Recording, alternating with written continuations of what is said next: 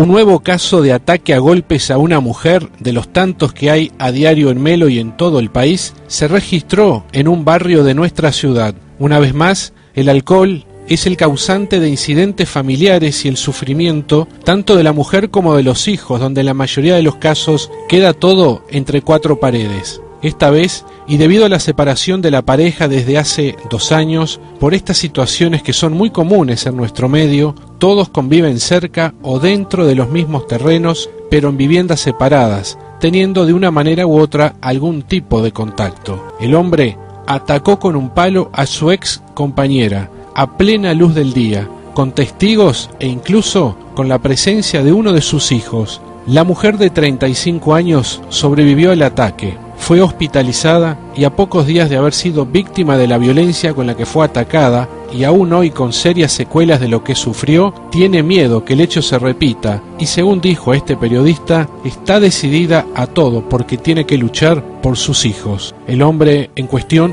fue procesado con prisión por un delito de violencia doméstica especialmente agravada, no tiene antecedentes penales y por disposición de la juez letrado de turno en feria permanece internado en sala de psiquiatría del hospital con custodia policial.